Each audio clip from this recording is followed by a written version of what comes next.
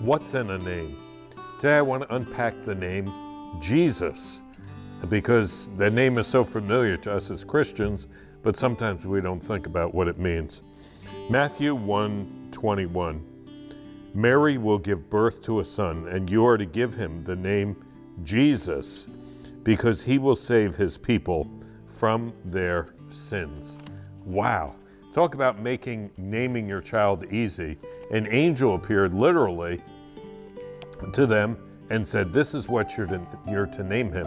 Why the name Jesus?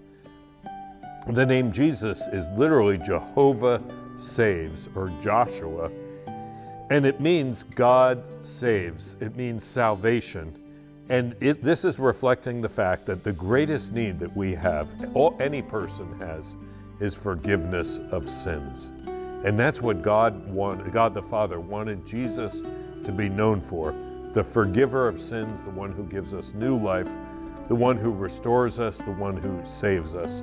In the world today, Jesus is known as a lot of other things great teacher, a great ethicist, a healer, the founder of Christianity, a revolutionary, all kinds of things. And these are not necessarily bad, but these are secondary things.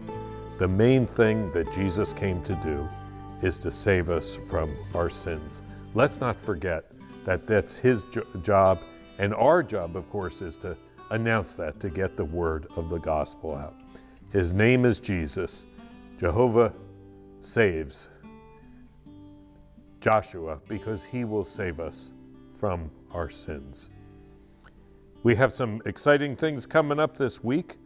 Um, Sunday morning is Christmas Sunday. I can't believe it's Christmas Sunday, but this Sunday is Christmas Sunday, the last Sunday before Christmas, and I will be acting out a message on, entitled Christmas in the Old Testament. You don't want to miss this, and it'll be fun.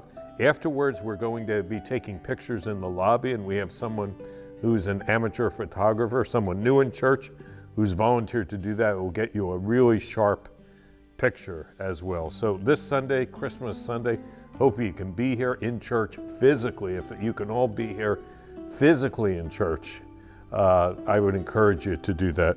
Sunday night, our children are doing their youth, uh, their children's play, and we're looking forward to that. Doreen always does a great job. That will be at 6:30 sharp.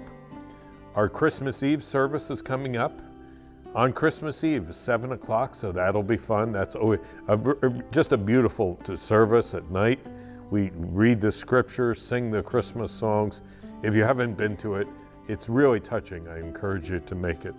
And then finally, a week from Sunday, it's the day after Christmas. You know, the night before Christmas. This is the day after Christmas. And we hope you can come out then as well and bring people with you. I know a lot of us will have guests and relatives and friends crashing in our house or something, but if you can bring them along, that'll be good.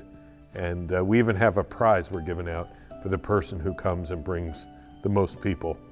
But that'll be fun. So, anyway, Christmas is upon us. It's an exciting time of year. And remember, it's all about Jesus, for he will save us from our sins.